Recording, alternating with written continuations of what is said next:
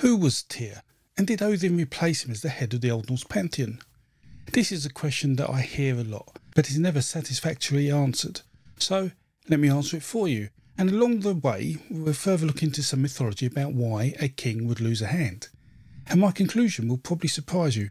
I'm John White, and welcome to Crecganford.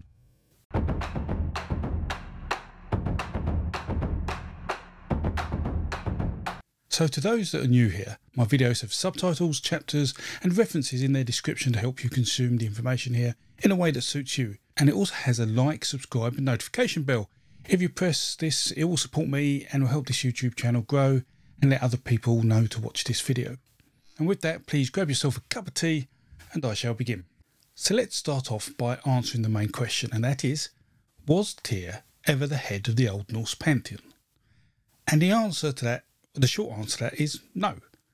But we have to consider that the Old Norse pantheon and the Old Norse period therefore tends to date from about the 7th century CE to the early Middle Ages and covers the culture and population that originated in Denmark, Norway, Sweden and Iceland.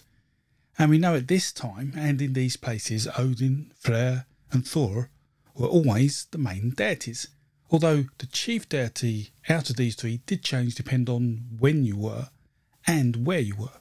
But he was usually one of those three gods. And so what we need to do is to ask a better question. Or this will be a very short video.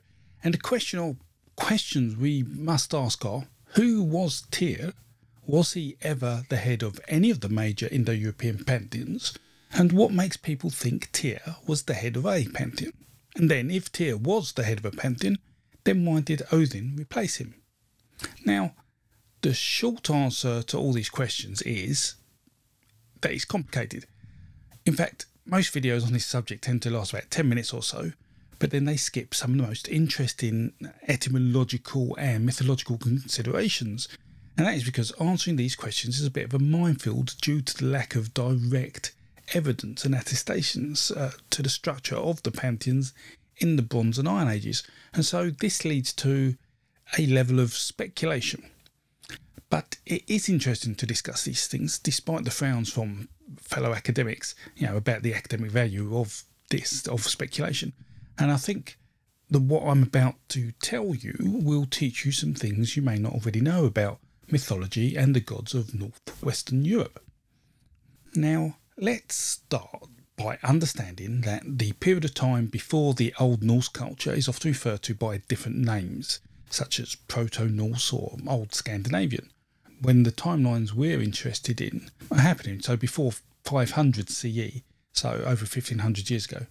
Now, whilst our historic knowledge of this period and the cultures is, is relatively minimal due to a lack of attestation, we do know uh, a few things and we can use these to get some ideas about what could have been going on. For us, this is the time of the Bronze Ages and the Iron Ages, the time where many European cultures go through much change as technology evolves to take advantage of the new metals and the wealth and power um, adapts to this new technology.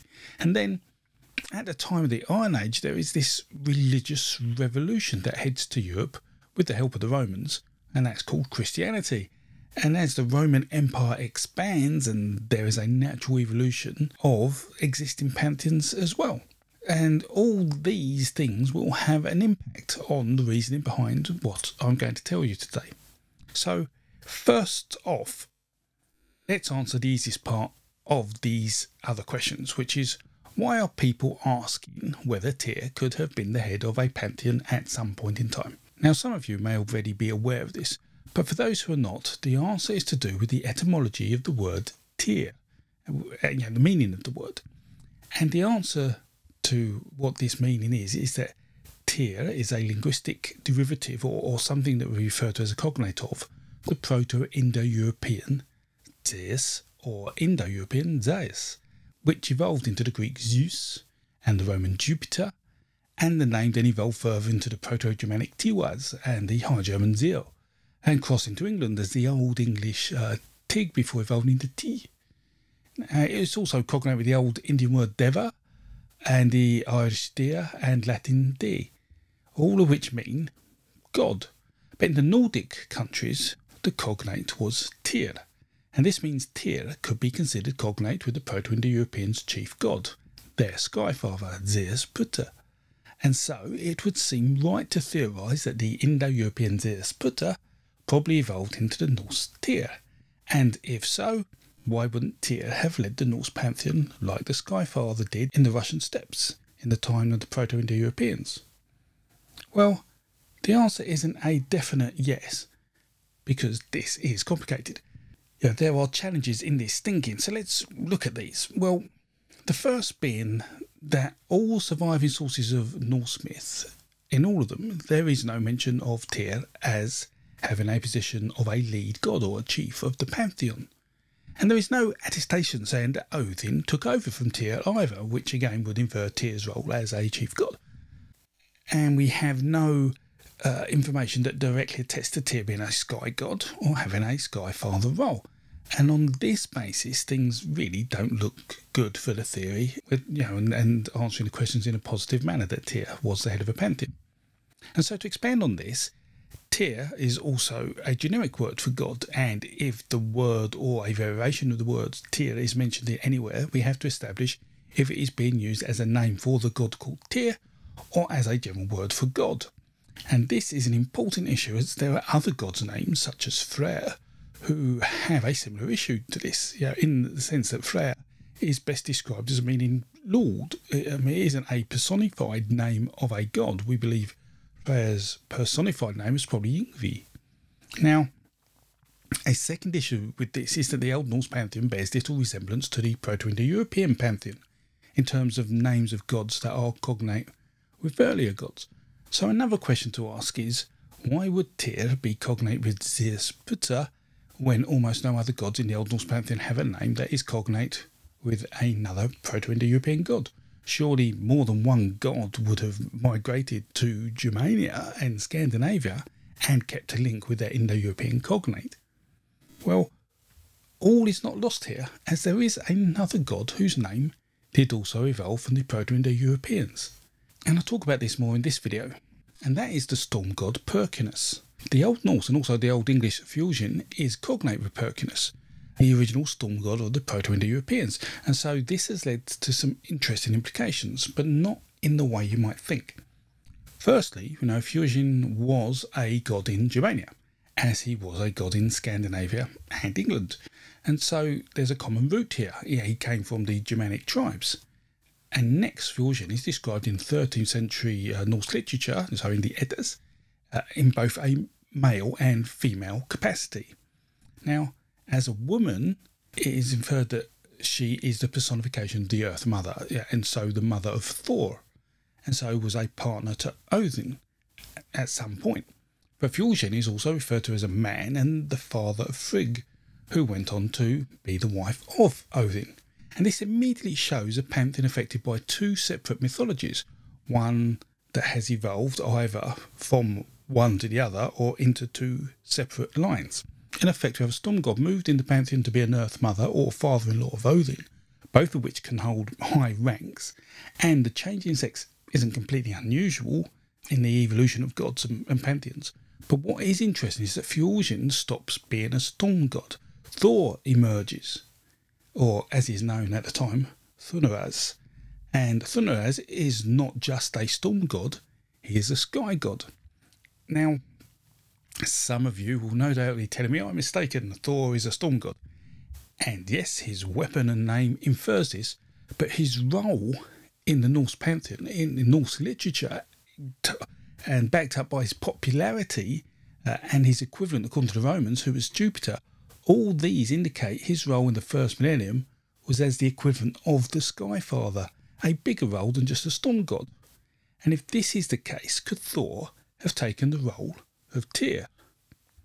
And then this raises an issue, or should I say another issue with the Prose Edda, where Snorri Sturluson says that Tyr is the son of Odin. Um, and that's within the Skáldskaparmál, uh, which contradicts the poetic Edda, which says he is the son of the giant Hymir. And this is a decent summary of the problem we have. We have no definitive attestation to Tyr's position, but we do have all these remnants of things that may have happened in the Pantheon previously. So let's take a more detailed look at Tyr to understand why he wasn't seen as an important Norse god in the Eddas, but was important enough to have a day of the week named after him, Tuesday, and was important enough to have a role in the Ragnarok uh, of the binding of Fenrir the wolf and then uh, the mortal wounding of Garmr before he himself bled out from his wounds.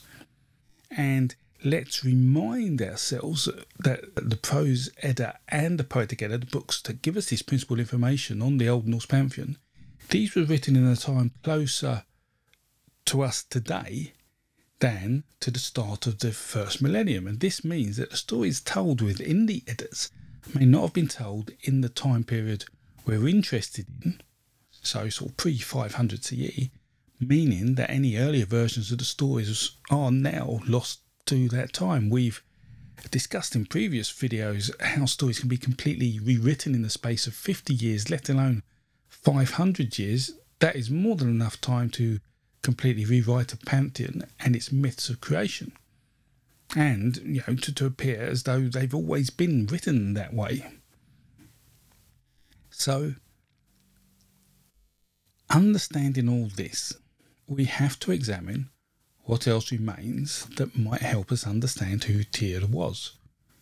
We know in Norway Thor was the most popular god, and it may have been the chief god at many places due to this popularity. And this can be seen in place names, making him more popular than Odin uh, towards the end of the first millennium. I mean, it, this didn't mean he was more powerful. That's the wrong way to think of gods. He was just a more relatable god to the average person, as gods were more associated with personas and personality, as opposed, for example, being considered a god of something, such as a god of war. Now, it is unlikely that all these towns that are named uh, after Thor were named after Tyr first and then renamed. So it looks as though Tyr never made a big impact in Norway, but Thor did. And this would reflect in the fact that Thor was a sky god, a chief god, and Tyr maybe not. But if we look at Denmark, which neighbours uh, Germania, there we see 31 places, 31 sites uh, from the earliest from the start of the first millennium up to sort of the 5th century of, of the first millennium, which have names that could be aligned to Tyr.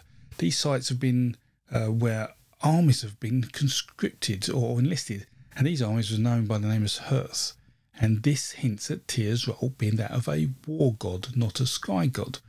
But an important god nonetheless. Uh, and as an aside, for those who think that Odin is a war god, Odin didn't fight in battles unlike Thor or Tyr. Odin may have instigated battles, he may have created situations to allow specific people to die in battle. He was a god associated with death and Valhalla, but he was a different kind of war god to Thor and Tyr. And in fact, Odin was in many ways very different to Wotan and Woden, his Germanic equivalent. And this is something that may have influenced uh, on the roles of the gods over time as well. As during the time when these towns in Denmark were being built, the Romans were at war with the Germanic tribes, a conflict that went on for hundreds of years. And if your war god isn't helping you win wars, then is he really the right war god for you? Would you need a new war god? But going back to place names associated with Tyr, um, so I got a bit distracted. There may be a couple of towns whose name could be associated with Tyr in Norway, but there are none in Sweden, and the names that could be associated with Tyr in these um, countries tend to have grown from plural or generic names for gods, not Tyr's personified name. And so again, this suggests that Tyr was certainly not as well, well, not as popular uh, in Sweden and Norway as it was in Germania, uh, certainly in the first half of the first millennium. And if a god isn't popular in those places, it suggests that Tyr wasn't leading that pantheon at that time. Now, we also have Tyr uh, mentioned as a day of the week, Tuesday, Tyr's Day. Well, in the Romance languages, Tuesday is known as Martes or Marti or similar, linking Tyr to the Roman god Mars. And so this suggests that Tyr was the equivalent of the Roman god Mars, a war god, not a sky god. The sky god of, of Rome was Jupiter.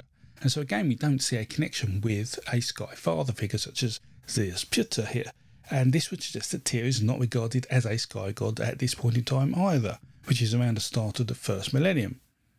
Now, because many Germanic and Norse gods were associated with war, as was the nature of the culture, then one could also argue that to be associated with Mars, the war god, meant that you were the most prominent of the war gods in that pantheon.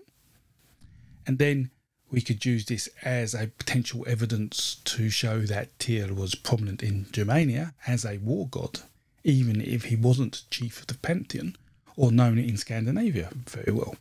And we also see inscriptions by Germanic people uh, in Latin, strengthening this link between Mars and Tyr. Uh, in the Netherlands, there is a first century inscription, uh, Mars Halamardus, which means Mars, murder of men. And there's the famous inscription on Hadrian's Wall, Mars Thingsus, from the 3rd century by Frisian mercenaries. And these particular pieces of evidence are worth remembering that the Roman army paid mercenaries from northwestern European tribes to fight for them. And this meant that these people interacted with Romans and other people from other cultures, and their different beliefs would have influenced each other, with these modified views being taken home after their contract came to an end. But what one of these inscriptions certainly infer is that the war god Mars was to preside over the thing, the Germanic and Nordic name, for the meeting of the General Assembly. Now, to preside over the General Assembly, you could then argue that one could be considered a chief god, even a sky god. But this is a rather tenuous association. And if Tyr, or as he would be known in the first century in, in Germania, Tiwaz, was a celestial deity, this would have been long before there were any Germanic tribes existing. And also, we would expect the inscription to refer to Jupiter if Tyr was a sky god. And so, again, evidence is suggesting that this wasn't the case for Tyr. We can also see from this, and from the day week which aligns Mars to Tyr, is that at the start of the first millennium, 2000 years ago, Tyr was seen as a war god amongst the northwestern Europeans. You know, at the beginning of the battles and the war with the Roman Empire.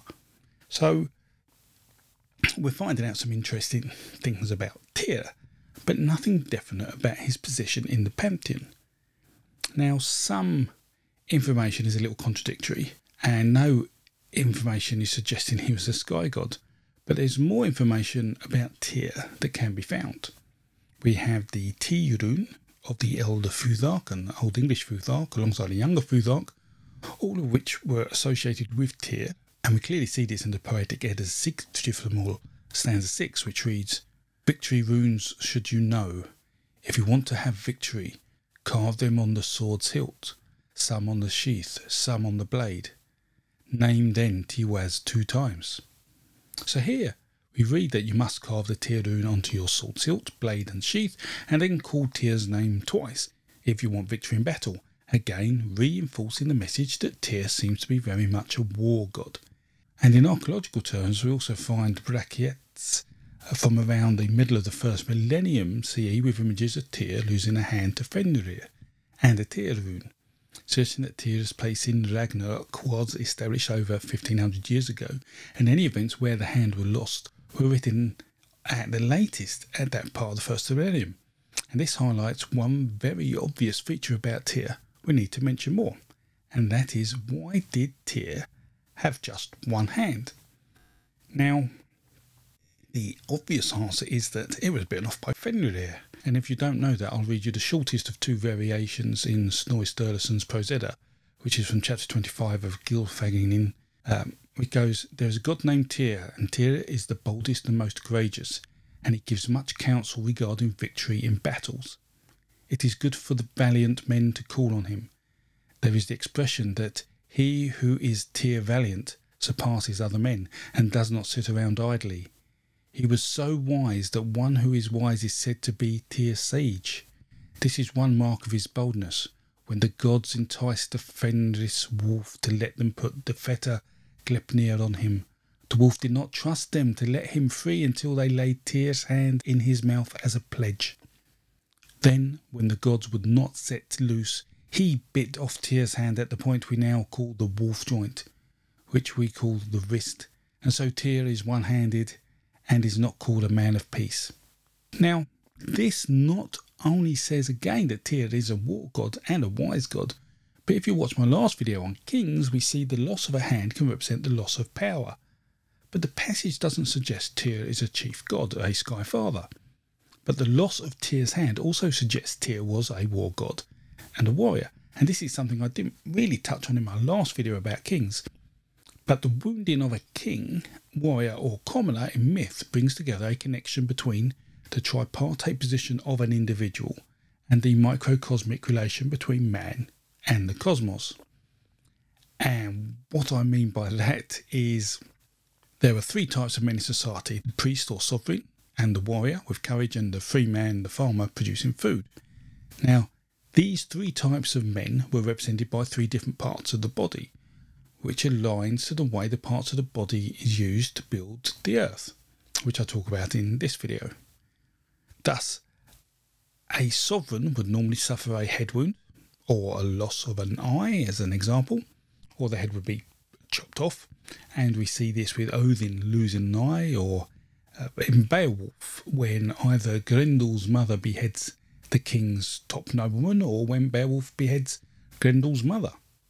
And in Beowulf, the lead character then, Beowulf, is rewarded with advice about kingship. So there's this link between the wounding of the head and kingship. And we see these values uh, in myths where feet are injured or legs are cut off uh, or an under part of the body is attacked. For example, uh, Fenrir is bound by his foot in the prose Edda, as is Egil in the Egil saga. And we also see Wiglaf and Beowulf wounded, uh, wounding the dragon uh, in the underbelly and then are rewarded with golden treasure. But warriors, the myths have them losing arms and hands, such as Tyr, but also Egil loses his hand in Beowulf. Grendel eats a warrior by hand and feet, or you have Beowulf tearing off Grendel's arm. And Beowulf is rewarded with horses and weapons for his success, rewards for a warrior. And you see these narratives in myths from Saga to Beowulf, from Gylfaginning to uh, the Prose Edda to uh, the Latin epic from Germany. And with this, we must ask is Tyr's hand cut off starting the process of moving him down from the upper ranks of the pantheon? Or, but does it also mean that he was a warrior and a war god, not a sky god? And this really is a summary of Tyr, and what we are left with is something resembling a multiple crime scene with a scattering of evidence of all the crimes mixed together all hinting at something is happening, but when everything is pulled together, we have nothing solid. But despite this, we have the question about Odin or Woden taking over from Tyr in the Norse or Germanic pantheon. And as I've explained earlier, and in other videos, Odin's development is complex. His origins aren't from the Proto Indo European pantheon. He was not a god who evolved with the pantheon. Odin is also not a representation of Manus or was this Putta. His origins are more primitive. He's formed from the Wothu personified to Woden, a god of death. And only in Scandinavia did his role encompass magic uh, and the runic magic. Plus, we see that Tyr's role in Scandinavia was always much less than in Germania, meaning that if a change happened, it was either earlier in time uh, or early in the timeline, and so embedded in the pantheon before it significantly influenced the North culture. So let us ask ourselves which is more likely. From the Germanic Woden, the god of death, to take over Tyr, a, a war god, or Thor, a sky god and a war god. And my view is that Tyr is an ancient god. The name no doubt stems from the Proto Indo European Sky Father, he once held a high place in the Proto Indo European cultures, but conflict and war turned this god into a war god, a warrior god, as his principal place in the pantheon. And when coupled with the fact that Thor is a more like for like replacement for the Sky Father than Odin, then can we make suggestion for an answer, which is to me, Odin or Woden didn't take over from Tyr in the Germanic pantheons. It was Thor. And the reason I feel this is that we see the development of Fjorgyn from the Celtic tribes as they battle with the Romans in Germania alongside intertribal combat, and they have Perkunas, the ancient storm god, changing to Fjorgyn. at the same time, Thor, the Germanic Thunoraz, was created and replaced Tyr as a chief god, partly because of his warrior skills and partly because he was a sky god. And let's be honest here, if a sky god of a warrior race loses his sky god power, all he is left with is his ability to fight, his warrior attributes, and it may explain Tyr's injury to push him down the pantheon. And that is a shot in the dark as his cause of dethronement, but it's probably best to say Tyr and Thor are warrior gods in the true sense of the word. And we know that Thor is the equivalent of Jupiter because Thor represents Thursday, and Thursday was also Jupiter Day by the Romans. And perhaps Fjorgyn giving way to Thor, but still being placed as a key figure in the ancestry of the gods and the mythology of the gods, and also an influence on Odin's life, left little room for Tyr to be placed anywhere significant. And so then was devolved under Odin. And consider within the Poetic Edda, these poems are probably more authentic look at the Old Norse history than the Prose Edda. And Tyr's ancestry within the Poetic Edda hinted at being the son of Hymir, the, the Jotun, being named his father. This would fit comfortably with the myth of creation, where the gods and the Jotuns must have mixed, rather than Snorri's suggestion that Odin was his father. And we also have to bear in mind that this change wouldn't have been immediate and widespread over Europe. It would take time. It may have happened as Othor and Odin combined in Scandinavia, and there must have been a perceived benefit to the tribes in, in doing this. And perhaps this rise of Othin also influenced the change of Tyr. But I remain convinced that Odin is a different type of god to Tyr, and so one that isn't equivalent to Tyr. But that discussion about Odin, I will leave for another day, because that could be quite contentious.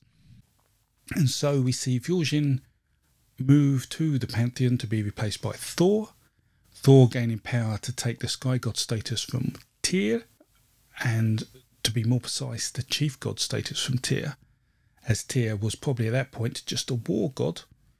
Odin's rise, or actually Woden's rise, um, as this is happening in Germania, may have also been happening at the same time as the Germanic pantheon has gone through some of these changes in the first millennium BCE, so over 2,000 years ago. But can we say when all this exactly happened? Well, certainly before the first century, the first millennium, judging by the archaeological record and texts that we do have from Rome.